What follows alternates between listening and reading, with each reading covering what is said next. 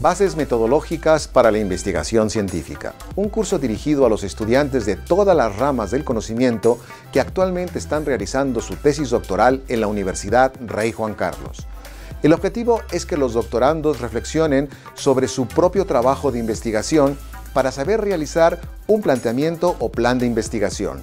Durante tres sesiones abordaremos la creación del conocimiento, las metodologías de la investigación empírica, la escritura y la divulgación de resultados.